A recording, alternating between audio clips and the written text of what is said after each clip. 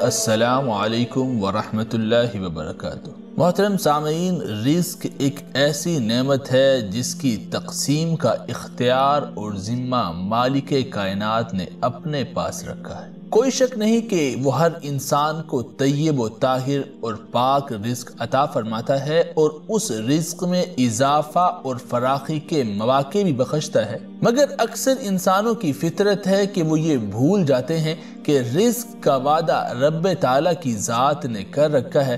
لہٰذا وہ ہماری قسمت میں لکھا گیا دانا پانی تقدیر کے مطابق ضرور عطا فرماتا ہے۔ لیکن کچھ لوگ توکل اور یقین کی کمی کا شکار ہو کر وقت سے پہلے اور ضرورت سے زیادہ طلب کرتے یا لالچ کا شکار ہو کر بعض اوقات ناجائز اور حرام ذرائع کے استعمال سے اپنا حلال کا رزق بھی کھو دیتے۔ ہیں اللہ تعالیٰ اور اس کے حبیب صلی اللہ علیہ وآلہ وسلم نے ہمیں رزق حلال کی طلب کمانے کا طریقہ، تجارت اور کاروبار کے مکمل اصول سکھائے اور بتائے بھی۔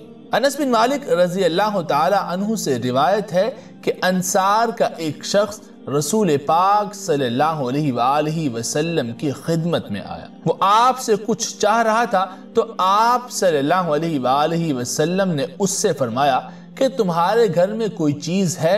اس نے عرض کیا جی ہاں یا رسول اللہ صلی اللہ علیہ وآلہ وسلم، ایک کمبل، جس کا ایک حصہ ہم اوڑھتے اور ایک حصہ بچھاتے ہیں، اور ایک پیالہ بھی ہے جس سے ہم پانی پیتے ہیں۔ تو آپ صلی اللہ علیہ وآلہ وسلم نے فرمایا وہ دونوں چیزیں میرے پاس لے آؤ۔ وہ گیا اور ان کو لے آیا۔ تو رسول اکرم صلی اللہ علیہ وآلہ وسلم نے ان دونوں چیزوں یعنی کمبل اور پیالہ کو ہاتھ میں لے کر فرمایا، انہیں کون خریدتا ہے؟ تو ایک شخص بولا، میں یہ دونوں چیزیں ایک درہم میں لیتا ہوں۔ تو آپ صلی اللہ علیہ وآلہ وسلم نے پھر فرمایا، ایک درہم پر کون بڑھاتا ہے؟ اور یہ جملہ آپ صلی اللہ علیہ وآلہ وسلم نے دو یا تین مرتبہ فرمایا۔ تو ایک اور شخص بولا کہ میں انہیں دو درہم میں لیتا ہوں۔ چنانچہ آپ صلی اللہ علیہ وآلہ وسلم نے یہ دونوں چیزیں اس شخص کے ہاتھ بیچ دیں۔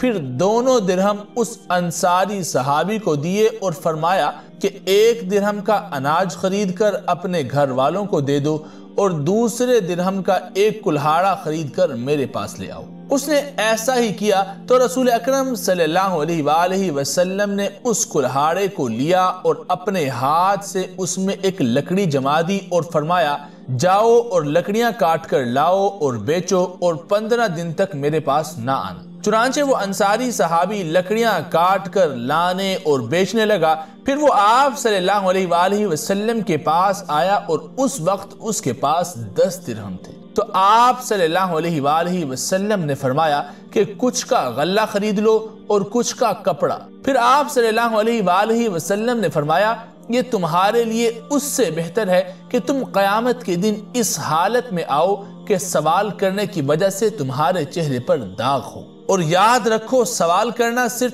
اس شخص کے لیے درست ہے جو انتہائی درجہ کا محتاج ہو یا سخت قرضدار ہو یا تکلیف دہ ہو یا خون بہا کی ادائیگی میں گرفتار ہو۔ معزز دوستو، آج کل ہمارے ملک میں جس طرح ہر ماہ بے نظیر انکم سپورٹ کے تحت پندرہ سو یا پچیس سو روپے ماہانہ غریبوں کو دیے جاتے ہیں اور انہیں اس رقم کا عادی بنا دیا جاتا ہے کہ وہ منگتے بن جائیں، سوال کرنے والے بن جائیں۔ تو کیا یہ بہتر نہیں کہ انہیں مچھلی پکڑنا سکھا کر اپنے پاؤں پر کھڑا کر دیں؟ یا ایسے ہی کوئی چھوٹے موٹے کاروبار سکھا کر انہیں اس کاروبار میں لگا دیں کراچی کے لوگ ہیں تو مچھلی کے کاروبار میں لگا دیں۔ انہیں ایک دن مچھلی تو کھلا دیں جس سے اس کا ایک دن کا پیٹ تو بھر جائے گا، مگر وہ پندرہ سو یا پچیس سو دے کر دوسرے دن وہ شخص پھر بھوکا ہو کر آپ کے پاس ہاتھ پھیلائے کھڑا ہوگا، سوال دراز ہوگا۔ تو آپ صلی اللہ علیہ وآلہ وسلم کی اس حدیث کو پڑھیں تو ماننا پڑے گا کہ امام کائنات جہاں دنیا کے بہترین قائد، جرنیل، باپ، شوہر، دوست، مربی، استاد، طبیب، نفسیات دان، حکمران، منتظم اور جج تھے، وہیں رسول اللہ صلی اللہ علیہ وآلہ وسلم بہترین معیشت دان بھی تھے۔ تو معزز دوستو، آج کی اس ویڈیو کا ہمارا خاص مقصد صرف اور صرف یہی تھا کہ وہ لوگ جو دست دراز ہوتے ہیں، چند روپے ملنے کے بعد انہیں کھا کر پھر کسی کے آگے ہاتھ پھیلا دیتے ہیں، تنگ دست ہیں، تو وہ بھی کسی چھوٹے موٹے کاروبار میں، روزگار میں کوشش کریں کہ اپنی تجارت کریں، چھوٹا موٹا روزگار شروع کریں۔ انشاءاللہ اللہ تعالیٰ آپ کے کاروبار میں برکتیں اور وسعتیں بھی عطا فرمائیں گے۔ اور ساتھ میں پانچ وقت نماز کی پابندی کریں، انشاءاللہ آپ کبھی تنگ دست، غریب، مفلسی کا شکار نہیں ہوں گے۔ معزز دوستو، ہم امید کرتے ہیں کہ آپ کو ہماری یہ آج کی ویڈیو، یہ آج کی بتائی ہوئی حدیث ضرور پسند آئی ہوگی۔ اگر آپ کو یہ ویڈیو پسند آئی تو اس ویڈیو کو لائک کیجیے۔ اپنے دوستوں کے ساتھ واٹس ایپ، ٹویٹر اور فیس بک گروپس پر ضرور شیئر کیجیے۔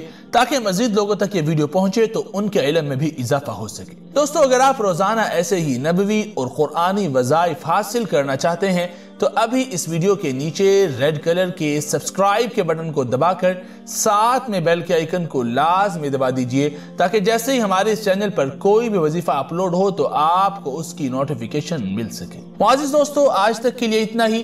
ملتے ہیں پھر کسی نئی ویڈیو میں نئے وظیفہ کے ساتھ۔